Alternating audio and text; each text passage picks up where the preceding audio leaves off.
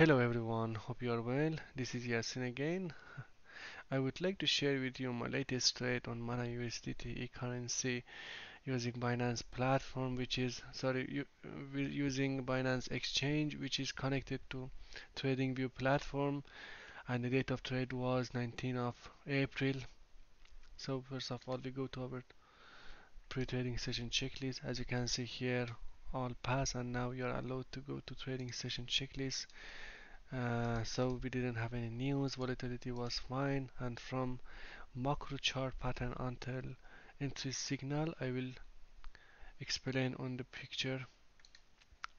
So uh, obviously this trade was as per PAAT system price action algo trading. First of all we need to check our macro channel. It's kind of downtrend to be honest with you. So we can consider this trade as a medium risk setup.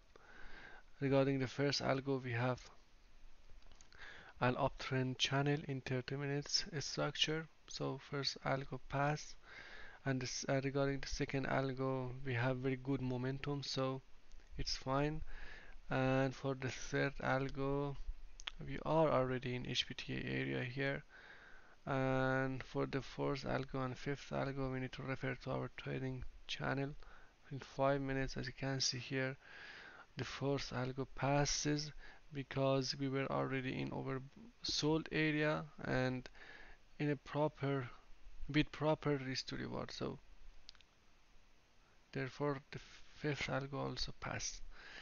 Alright so as you can see here I entered here and my stop loss was here and target here and price touch the target alright hope you enjoy it See you soon.